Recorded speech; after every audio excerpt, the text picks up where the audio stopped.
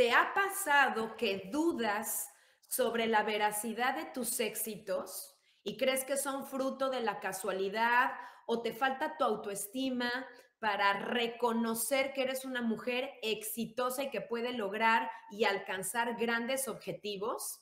Quédate conmigo que vamos a hablar en este programa sobre cinco tips para eliminar el síndrome de la impostora.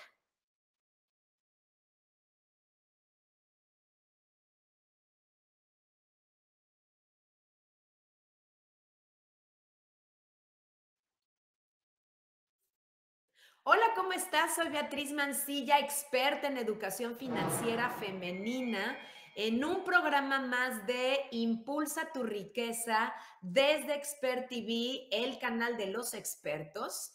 Y hoy tengo para ti un tema que de verdad vale oro, el famosísimo síndrome de la impostora. Vamos a hablar hoy del síndrome de la impostora y te voy a dar cinco tips para eliminar este síndrome que aqueja principalmente a las mujeres. Y lo primero que quiero decirte es cuándo surgió este concepto del síndrome de la impostora. Bueno, pues se identificó por primera vez en la Universidad de Georgia en 1978. ¿Y qué quiere decir este síndrome de la impostora? Bueno, es súper importante hablar de él porque es cuando tú eres tu peor enemiga. Imagínate, es cuando tienes este tipo de sensación de la verdad es que me siento un fraude, la verdad es que no me siento segura de si yo debería de estar en donde estoy. Eh, este síndrome de la impostora, fíjate, le ha pasado a mujeres tan importantes, tan exitosas y tan talentosas como Emma Watson, por ejemplo. Todos conocemos a Emma Watson en su papel de Hermione en Harry Potter, desde que ella era una, desde que ella era una pequeña niña y ella demostró su, su talento artístico desde que era niña. Bueno, Emma Watson dice que a lo largo de toda su vida, este síndrome de la impostora le ha aquejado, es decir, a veces no se cree que es tan buena, a veces no se cree que el éxito que ella tiene hoy por hoy ha sido producto de su talento y de su esfuerzo. Otra persona que le ha pasado es a Kate Winslet.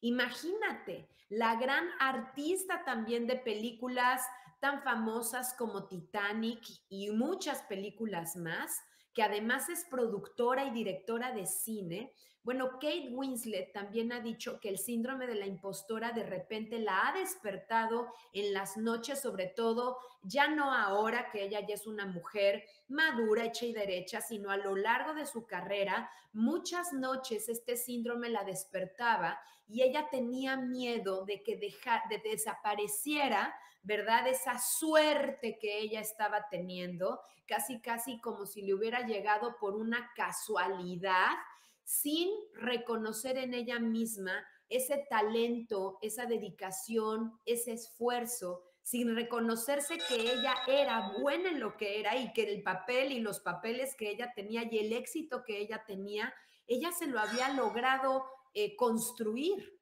Otra, otra persona que ha tenido ese síndrome de la impostora es Oprah Winfrey y René Zellweger. Entonces, tú lo podrías creer ¿Te ha pasado que llegas a tener éxitos de ventas o éxitos en tu, en tu negocio o en tu profesión o quizá eres coach o quizá eres una maestra de yoga y tus alumnas te dicen, oye, qué buena eres, me encantan tus clases. En el trabajo te han dicho, oye, eres excelente, qué buena profesional es, eres y de repente tú piensas que no es para tanto y de repente te cuesta creer ¿Te cuesta creértela? Yo te quiero preguntar, ¿qué te lleva a pensar que tu éxito no te pertenece? ¿Qué le hacía pensar a Emma Watson, a Kate Winslet, a Oprah Winfrey, que ese éxito no le pertenecía y no se lo habían construido ellas? te ha pasado a ti, te quiero decir que esto se trata de una creencia de que nuestros éxitos son fruto de la casualidad y tenemos em, el miedo constante de en realidad ser peores o no, no, no ser tan buenas de lo que son todos los demás. Esto afecta especialmente a las mujeres, fíjate, a las mujeres que tienen gran talento y tienen gran capacidad de esfuerzo. Se da también mucho en las mujeres que son altamente competitivas, perfeccionistas, meticulosas y autocríticas. Es decir, estas características que precisamente hacen ser a una persona más exitosa, porque se exige de más, es más perfeccionista y cubre con estándares más altos, bueno, paradójicamente, esas mismas características que te pueden llevar a construir el éxito son las mismas características que te llevan una y otra vez a este síndrome de la impostora, donde te dices a ti misma que no eres suficientemente buena, que ese éxito que tú has construido puede desaparecer y a no reconocer en ti esos talentos y esas fortalezas. Fíjate qué cosa tan tremenda, pero el síndrome de la impostora te lleva a infravalorarte y a no reconocer lo buena y lo talentosa y lo exitosa que puedes ser. Y si tú no te das cuenta que estás en este síndrome, puede ser una causa número uno de autodestrucción. ¿Por qué estamos hablando de este tema en un, en un programa que es de educación financiera? Porque Impulsa tu riqueza es un programa de educación financiera. ¿Por qué vengo a hablarte del síndrome de la impostora en este programa donde hablamos de dinero, donde hablamos de inversiones, de éxito financiero, de tarjetas de crédito, de manejo de deuda, de fondos de inversión, de ETFs y de todas estas cuestiones psicológicas y emocionales en relación al dinero. Porque me he encontrado una y otra y otra y otra vez con decenas y centenares y miles de alumnas que tienen toda la capacidad para generar y crear dinero, chicas, pero piensan que no son lo suficientemente buenas. Piensan que sí, que son buenas abogadas, pero no para cobrar tanto. Que sí son buenas para las ventas, pero no para generar tanto dinero que sí les llaman la atención las inversiones, pero no, no pueden generar inversiones tan atractivas como las inversiones bursátiles, por ejemplo. Y eh, el síndrome de la impostora hace que nosotros nos pongamos nuestros propios límites, que nosotros infravaloremos nuestras propias capacidades para generar, para retener y para multiplicar el dinero. Es decir, este síndrome de la impostora me lleva a yo solita ponerme el techo al cual yo puedo aspirar, aunque dentro de mí tengo los talentos, la capacidad de perfección, la capacidad de esfuerzo y de sobrepasar esos límites, yo sola me pongo el límite porque creo que no soy tan exitosa como soy. Y además soy una mentirosa y fraudulenta en la que en cualquier momento puede llegar a, esa disque realidad, ¿verdad? Y los otros se pueden dar cuenta que yo no soy tan buena como ellos creen que soy como si yo les estuviera mintiendo y nada más estuviera esperando a ver en qué momento ellos se van a dar cuenta de que yo no soy tan buena como soy, en vez de reconocer que soy una mujer exitosa con altos estándares de excelencia, eh, con altos estándares de perfección y con un gran talento. Así es que vamos a hablar de estos cinco tips para, para eliminar este síndrome de la impostora. ¿Para qué? Pues para que florezcas financieramente, para que no te pongas límites, para que puedas, para que eh, puedas saber y más que nada puedas estar convencida de que tú puedes generar mucho dinero, de que puedes ser buena para las ventas, buena para los negocios, buena para generar dinero en lo que tú hagas, buena para mantenerlo, buena para aprender a hacer inversiones, buena para multiplicar el dinero. Entonces es, es una... Es una clave, indispensable, lo diría yo, para una mujer exitosa financieramente, una de esas claves sería eliminar o derribar el síndrome de la impostora. Así es que te voy a dar estos cinco tips. Punto número uno es aceptar lo que eres y aceptar quién eres, por malo o por bueno que esto sea. En la aceptación, en la aceptación de tus talentos y tus fortalezas, como en la aceptación de tus debilidades y para aquello que no eres buena, en la aceptación es que está la raíz de poder exponenciar esos talentos y fortalezas y poder llegar a la excelencia y a la perfección desde lo que eres muy buena y monetizarlo y en aquello donde están tus debilidades y en lo que no eres muy buena, aceptarlo te abre la puerta para poder delegar, para poder pagar a alguien que sea muy bueno en eso, en lo que tú no eres, para poder asociarte con personas que son buenas en lo que tú no eres en tener los conocimientos básicos de aquello para lo que no eres buena, pero enfocar tus esfuerzos en aceptar lo que sí tienes en tus talentos y tus fortalezas. La aceptación es el paso número uno para allá.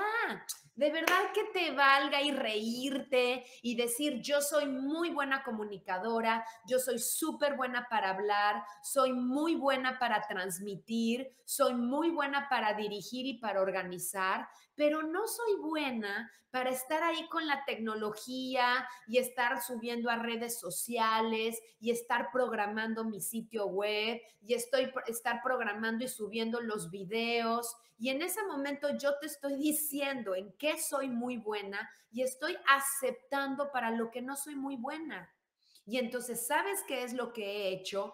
Exponenciar y de, de, verdad dedicarme a estudiar, a pulirme en aquello para lo que soy extraordinariamente buena y entender y pagarle a alguien que me puede ayudar y que me puede colaborar en sumar en esas debilidades que yo no tengo, pero ya no lo sufro ya lo acepto y, me río y le digo a María que me ayuda a llevar mis redes sociales, ay, qué bueno que tú sí eres buenísima para eso y qué bueno que formas parte de mi equipo, porque yo no soy buena para eso, ni quiero ser buena en eso, porque sabes que me distraigo y en la distracción yo dejo de ganar dinero o pierdo dinero. ¿Por qué? Porque estoy dejando de ganar dinero a través de lo que soy muy buena. Si es que acepta en lo que eres buena y en lo que no eres buena, acepta lo que eres. Segundo tip para eliminar el síndrome de la impostora.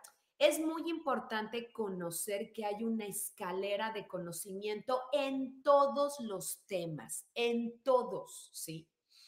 Imagínate que tú quieres dar clases de meditación, ¿de acuerdo? Pero existen los niveles básicos de meditación en los que tú puedes enseñarle a las personas desde guardar cinco minutos de silencio, dejar pasar las ideas, cómo la lengua la tienen que poner arriba y atrás de los dientes, cómo es la respiración para meditar, cómo es la posición de las manos para meditar. Esos conocimientos son básicos. Es lo que le llamaríamos el kinder o el primer grado de la educación elemental, ¿sí? Hay muchas personas que ni siquiera tienen ese conocimiento básico de meditación.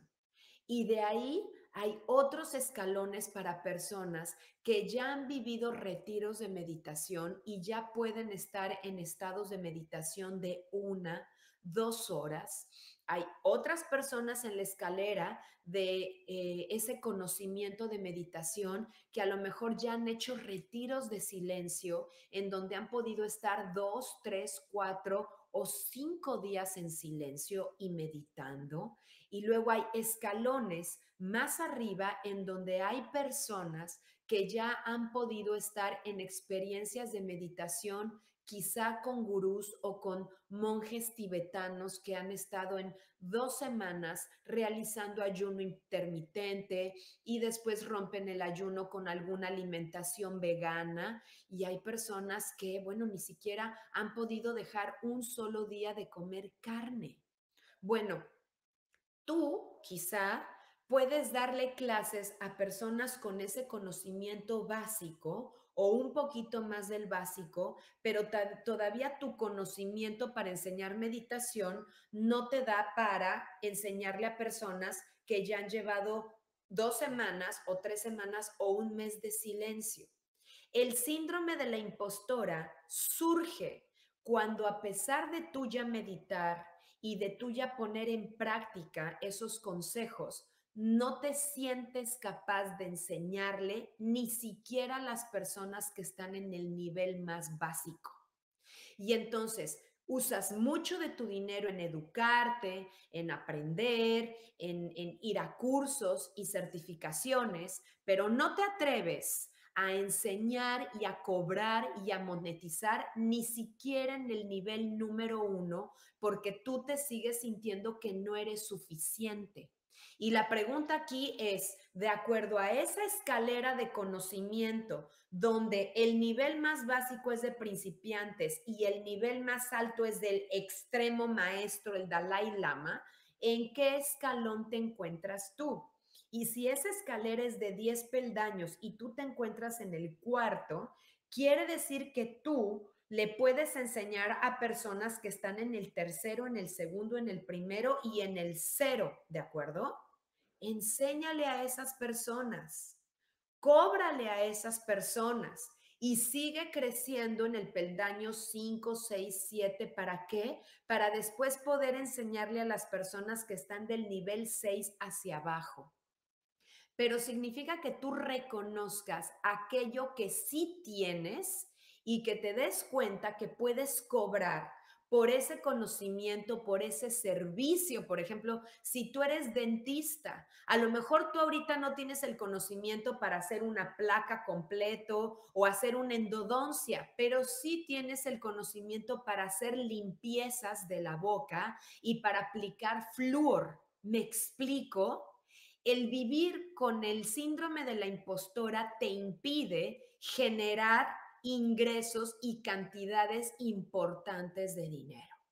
Vamos con el tercer tip para eliminar el síndrome de la impostora, que es acciona, limpia la boca, da esos cursos de meditación, pero hazlo. La mayoría de nosotros, por causa del síndrome de la impostora, estamos en un estado de inacción y de inmovilidad. Y si tú no te mueves porque estás paralizada por ese síndrome de la impostora, entonces no estás haciendo que las cosas cambien. Si quieres romper con, ese, eh, con esa rutina, con ese síndrome, acciona. El tercer tip sería accionar en vez de estar en un estado de inacción. Organiza tu primer curso de meditación. Eh, hazle una limpieza bucal a la primera persona y luego organiza el segundo grupo, límpiale la boca a la segunda persona y conforme tú vayas accionando vas a empezar a tener más confianza y te animarás a organizar el tercer grupo, el cuarto grupo Luego te vas a animar a tener grupos con más personas.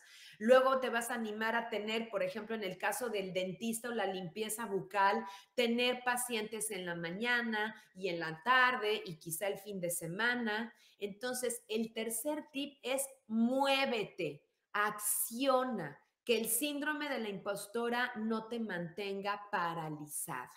El cuarto tip para eliminar el síndrome de la impostora es haz ejercicios, el famosísimo ejercicio del woman spreading. ¿Qué quiere decir esto? Tomar físicamente posiciones de poder. El gesto o la posición física que te hace crecer, que sí, que te hace creer eh, eh, que sí puedes. Es una, es una posición física de poder. ¿Y cuál es una de estas posiciones de poder?